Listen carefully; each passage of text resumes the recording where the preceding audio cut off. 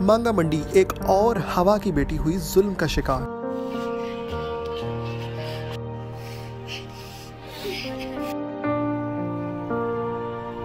نہ زمین پھٹی، نہ آسمان گرا۔ جوان سالہ بچی تشدد کر کے سر کے بال تک مونڈ دیے۔ سات ماہ قبل غریب گرانے کی پندرہ سالہ جوان بچی کو لاہور کے علاقے ڈیفنس میں بطور ملازمہ کے طور پہ کام پہ بھیجا گیا۔ والدہ کا کہنا تھا کہ سات ماہ تک نہ تو بچی کو والدین سے ملنے دیا گیا اور نہ ہی کوئی معاوضہ دیا گیا۔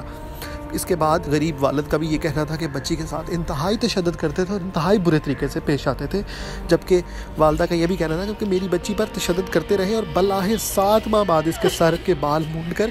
کمر پر کٹ کٹ لگا کر گھر کے کچھ فاصلے پر پھینک دیا وزیر اعظم عمران خان سے انصاف کا مطالبہ کرتے ہیں ਮਾਮੇ ਦੇ ਵਿੱਚ ਮੈਂ ਰਹਿੰਦੀ ਹਾਂ ਤੇ ਲਾਹੌਰ ਵਿੱਚ ਉੱਥੇ ਕੰਮ ਕਰਦੀ ਸੀਗੀ ਇੱਕ ਘਰ ਵਿੱਚ ਉਹਨਾਂ ਨੇ ਮੇਰੇ ਤੇ ਬਹੁਤ ਜ਼ੁਲਮ ਕੀਤਾ ਤੇ ਮੈਂ ਉੱਥੋਂ ਭੱਜਣ ਦੀ ਵੀ ਕੋਸ਼ਿਸ਼ ਕੀਤੀ ਤੇ ਉਹਨਾਂ ਨੇ ਮੇਰੇ ਵਾਲ ਕੱਟ ਦਿੱਤੇ ਤੇ ਮੈਂ ਉਹਨਾਂ ਨੂੰ ਕਹਿੰਦੀ ਰਹੀ ਹਾਂ ਕਿ ਮੈਂ- ਮੇਰੀ ਮਾਂ ਦੇ ਕੋਲ ਮੈਨੂੰ ਛੱਡ ਆਓ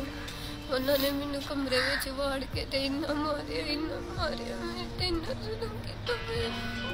تو یہ ہے ہمارے ہوا کی بیٹی اور اس کے ساتھ ظلم تو ہم لوگ کیا کریں ہم لوگ کدھر جائیں تو انتہائی دکھ کی بات ہے میری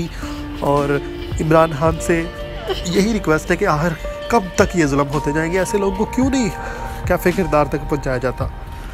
مزید اسی طرح کی ویڈیوز دیکھنے کے لیے ہمارے چینل کو سبسکرائب کریں اور دیکھتے رہیں ایسا لاہوری لاہوری ایڈیٹ